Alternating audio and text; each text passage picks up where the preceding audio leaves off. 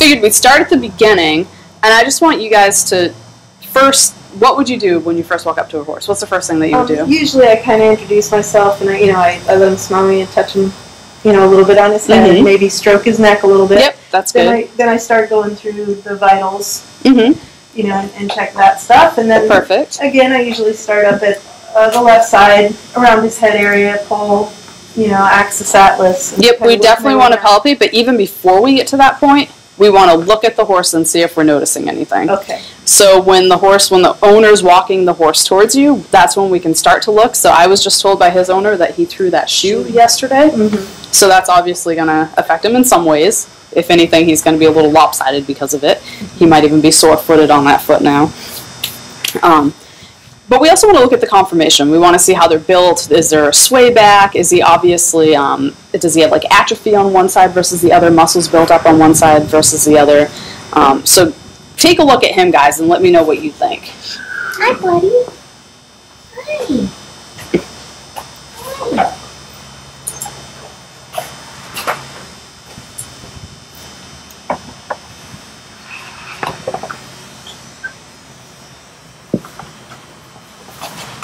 Got a big belly. Mhm. And he gets used mainly for lessons. He's a lesson horse. Looks a little hippie, I guess. Mm-hmm. Yeah, he. To me, he looks a little back at the knee, both. Maybe a little cowhide. It looks kind of narrow. Mm-hmm. Yeah, it's hard to tell exactly how he's standing right now, but yeah, if you can get him squared up a little bit. Clubfoot, right? Is that a clubfoot? Uh, I gotta look at it It's from the side. than the other one, even, you know, even compensating for the shoe. But he might have broke a bunch off, it looks like he broke off. Yeah. It looks different because the shoe's gone. Those are pretty bulky shoes. Angle wise, when you get to the side of it, it's not exactly a clubfoot. Clubfoot has a little bit more heel on it. Arabian? Mm-hmm. Yeah. His backbone feels a little pronounced. Yeah, see, that's what I was noticing when I first kind of was looking at him. He's Yeah. lacking a top line, you know. Yeah. He could use. He does get regular exercise though? Um, I honestly I don't know how often, but I do know that they use him for lessons. Let me pause it. I believe that he felt. Yeah, it's probably about two weeks ago because it was right before the workshop that we were supposed to do last. So the owner said he, he was having some soreness in his back because of that. So we looked at him. So now we know that he's kind of lacking in the top line. Um, he has some conformational structural issues. So we know that he could have some things going on due to that. So we kind of know where we can focus on with the palpation now. But with the palpation, we kind of just want to get our hands on him and we want to run through the entire horse. Now, I know you were saying you might have some trouble finding the stress mm-hmm. points. Yeah. So my recommendation is don't get so caught up on what they are. And I gave you guys manuals if you want to look at it. So we have all the pictures of the stress points and we can see which muscles they are. But don't let that hinder you. A lot of people think like I got to know exactly every muscle. I got the stress point's got to be in that same exact spot. Oh, I'm And it- glad because And it doesn't I'm- have I, to be. I mean, I've been doing horses all my life, and I know the basic muscles Yeah. and stuff, but it's like some of those names. It's I know it's Like, a lot. I. And the more that you do it, the more regular it will become. So you'll Yeah. you'll start to recognize it, especially ones that are you know you're finding them a lot on on different horses. And I seem to notice on the horses, I've been working on quite a few different horses, and I, I noticed that there seems to be regular stress points that Yeah. I find on almost all of them, especially, you know, way up. Especially if you're working on a lot of horses of the same discipline, you will start to find stuff like that. Hmm. But Most yeah. of the ones I'm working on are ancient. Oh, Everybody thinks their horse has to be over 20 to get a massage or something. I'm like, really? that's funny. well, at least they're helping out the old ones, right? yeah.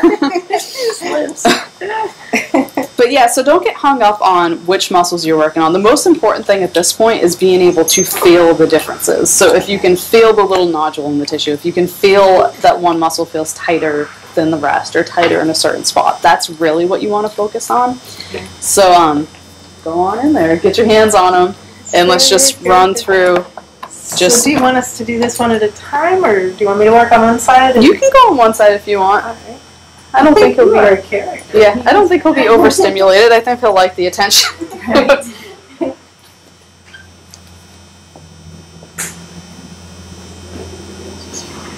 And knots are just gonna feel like hard underneath the skin, right? These Yeah, all so sites or like, yeah, if you're feeling something that's real superficial like that, yeah, Yeah. that's more in like just the skin. We're looking for something in the muscle. So if you kind of run your hand along this muscle, you can kind of feel how these Lumpy, bumpy. lumpy in there, yeah. Uh, yeah. Yeah, so don't be afraid to put a little pressure.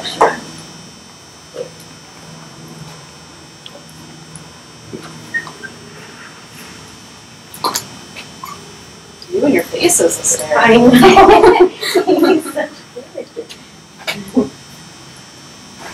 And sometimes will they flinch if you hit a spot? They will, so that's a really good indication because you'll feel a little flinch. Sometimes they'll try to move away from you, they might pin their ears back.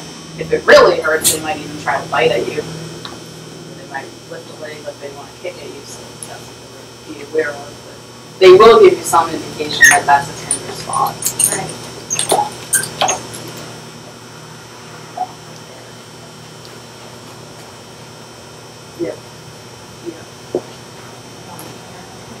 And when you get horses that have a little bit more adipose tissue on them, if there's more fat tissue, you might have to push a little bit harder to get to that muscle and feel it.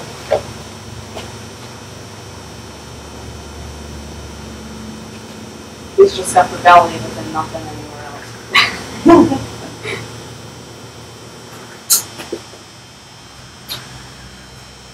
That feels good.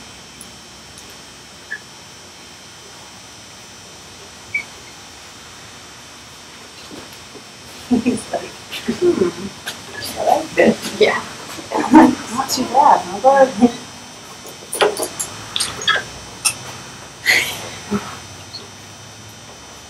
You bit at the cross tie there, I don't know if it was because you were palpating down side of the stifle, but. we just- gotta pay attention to their face Yeah. too, huh? I don't know if he was just playing with it or.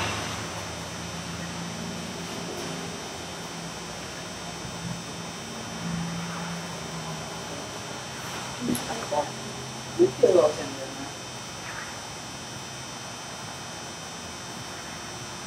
So when you're doing this, you're just kind of making mental notes, and if you need to write it down, because it's hard to remember when you're first starting out, you can write down the little areas where you felt something, or also where he indicated that it might have been painful too. Because sometimes you might miss it manually, but he'll let you know. So, and um, flinching, is that another sign of some Flinching for sure, yeah. Yep. yep, if he flinches, that definitely is an indication.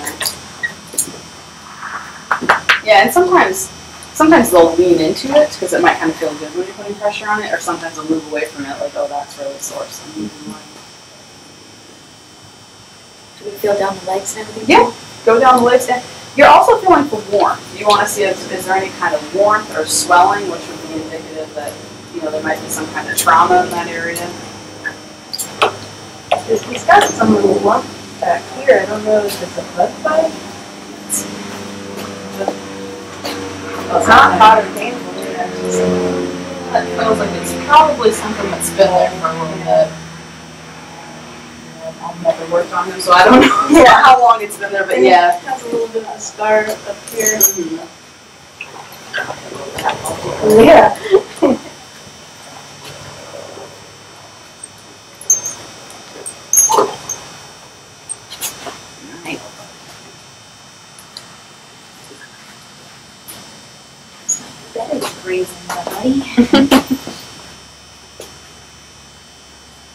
And then as far as working on cross ties, it's not my favorite thing to do because I do like to let the horse be able to drop its head and move its head around if it needs to. Mhm. Um, sometimes I realize it might be the easier thing to do, but make sure you're working on a horse that isn't going to set back or, you know, if someone's bothering him, get upset because obviously hurt himself in that circumstance. But um,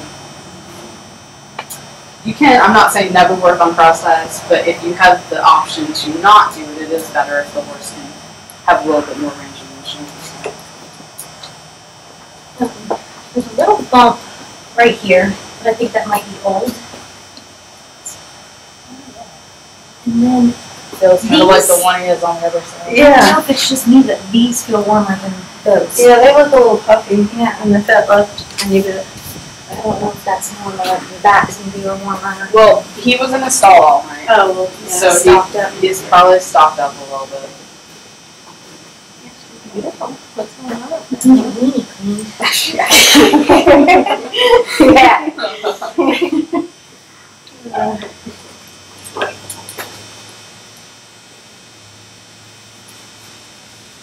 How's the tail feel? It's got No lumps in it?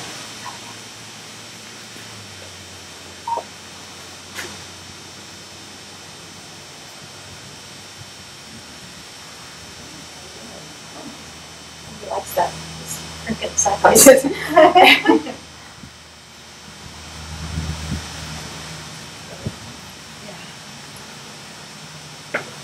He's got good Yeah. tension there.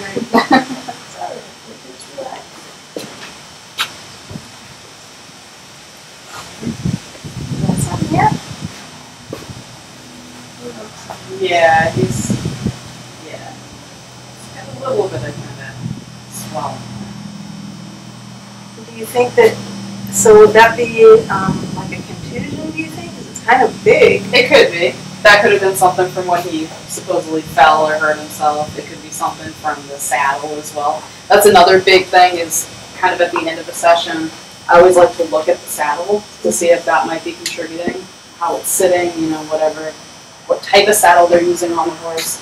And that kind of just gives you another clue because when you come back for a future session, if you're finding the same things over and over again, you know it's something that's going on. It's either the saddle, it's the rider, it's something that they're doing. So then you can give them advice on what they need to correct to try to stop that from happening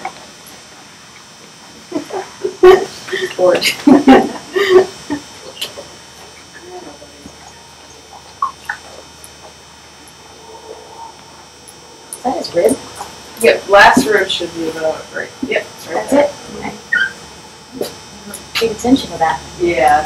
So that's one of the landmarks when you're checking saddle fit is you don't want the saddle to sit past that last rib. So, which kind of gets difficult, especially on like these little quarter horses that you have, you know, big guys riding. So they got like a big long saddle and you're on a little. And this is an Arabian, so they have the same issue too. But you'll see that a lot. You don't see it as much with the English saddles, but with the Western saddles, you'll see a lot of saddles that go past that point, and that can cause a lot of issues in the hind end because they have trouble pushing off. Yeah, that can cause soreness, you know, kind of in the SI joint all the way into the hind end. behind horse. And then obviously when you're looking at the withers, if you have a saddle that's too there. narrow, which, yeah, he's got some tenderness there, so he might, that would be something. I don't have access to a saddle, I don't know which one they use, but that's something that we would recommend that they look at that to see what they're using, because it could be too narrow. Or if it's too wide, then you get it where it's putting pressure up here on the spinous processes. All right, so you had your hands on them now, so you kind of, where do you feel like you want to focus on now? Uh, like maybe the wither area? Is it flinchy? He was flinchy there for sure, yep, and he's got kind of some tightness up here in Yeah, his front yeah. the. Um, Yeah, I usually, I usually find that, um, as I'm working deeper on them after like effleurage and stuff, I kind of find more as I go. Yep. Even more, you know, than the palpation. Yeah, more stuff will kind of pop up. And Yeah. as you resolve one issue, like say you work on his neck here and he's kind of relaxing, something else might pop Yeah. up somewhere else. So, so always, yeah, always be on the lookout. Right now, it's just kind of the initial run of trying to see where you want to focus on. But if you notice other things, then definitely that will get addressed. Teeth lined up good. Yeah. So yeah, so you can. It's kind of easy if you start at the head and kind of work your way back. Yeah. If the horse is comfortable with that, some horses are going to be real head shy and they don't want you to touch their head. So in those circumstances, you might have to start somewhere else and kind of work up to them. So don't be afraid to adapt to what the horse needs. You can have a certain pr- protocol in your mind, but if the horse isn't really having that, you know, sometimes you might have to work, start at the back and then he'll you come up this way. If he's really sore in the hindquarters, you might have to start somewhere else, and then once he relaxes, something might let you in in the hindquarters. So you just kind of have to see Will you show me where the jaw meets together and that's the Yeah. TMJ, right? This is Yeah. the TMJ joint right up in here. So hold your hands up there, and you see he's looking and Chewing. now. Yeah. Well, they can chew some more. Yeah, and you can feel it Here, moving. put my finger in. No, he doesn't care. What would you feel if this wasn't lined up or So the first thing you might feel is you might have some swelling and tenderness in these muscles. Okay. The muscles of mastication we call them. It's what helps them chew. So you might have some swelling, swelling and tenderness there. If you poke at them, you might see them kind of flinch or pin an ear back. Um, you would, might also notice a little bit of popping or clicking when on one side when it opens. Okay. Um, and you might also notice, well, you're always, if there's deviation in the teeth. See how those teeth are lined up? Mm-hmm. So now if those were off to the side, then you know that there's a pull from the TMJ on that side. Okay. So and then what would you do? Would you massage that We area? would massage it, yes. The TMJ is a sensitive joint, so you don't want to overdo it. Like you don't want to really get in there and you know work on it for an hour or anything like that. But you do want to massage it. Um, you can do kind of like you can effleurage over it. You can do little petrissage soaks. You can do kind of friction stuff if you find a particular area. You do want to massage it, and then that's another area too that you can put some tape on it. Yeah, I take You the laser it. Yeah. But yeah, you do want to massage it, and then you can always check to see if you had an improvement. Now, if it's a chronic TMJ issue, you're probably going to have to have the dentist come out as well, Yeah. because there's probably something going on in the molars back there that's contributing to it. And what are you supposed to feel for for the poll up there? Anywhere in particular? Yeah, so this is Atlas. This big, huge. See if you slide your finger down here, you mm-hmm. feel that bone. This is Oh, the right here. wing of Atlas. It's actually a oh, big, Oh, yeah. a big bone. You can, you know, press on it. It's mm-hmm. pretty, pretty broad. So the poll is C1, which we also call Atlas. So the top of it is right up there. If you get to their skull, that's what we call the occiput bone. But so we have the occiput bone of the skull, and then we have C1. That's that's the poll, more or less, is what we call it. But what we're checking for with Atlas is we want to make sure Atlas is in alignment and that it's not causing any issues as far as pain. A lot of times when we have a TMJ issue, we're going to also have an Atlas issue, so they go hand in hand.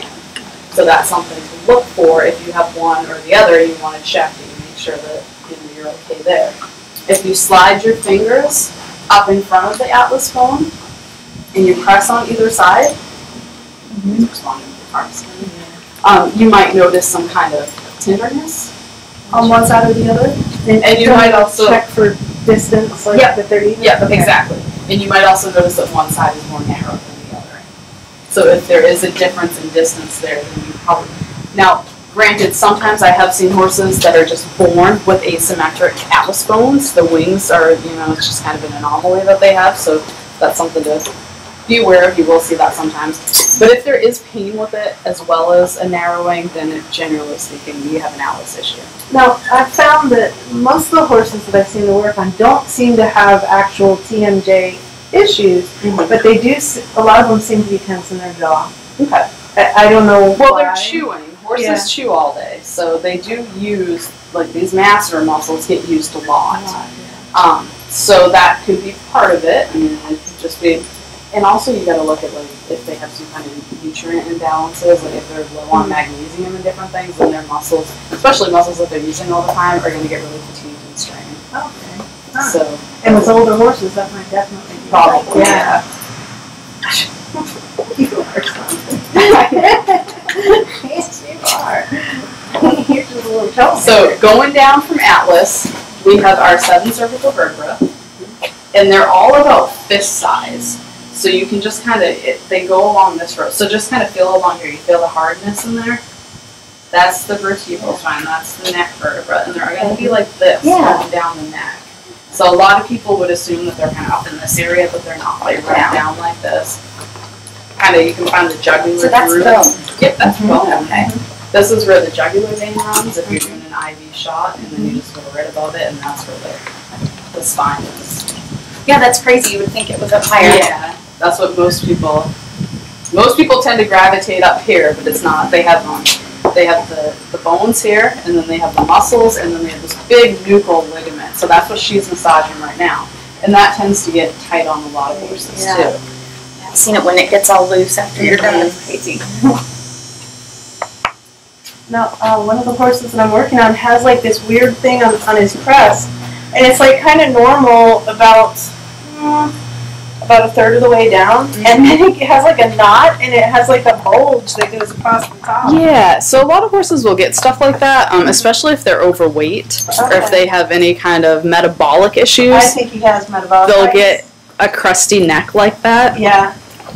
He's not super fat, so I think it's. Yeah, and it's one of those things too where you got to watch out for um, laminitis with those Oh, horses yeah. too because they're more prone to it. That's my mare.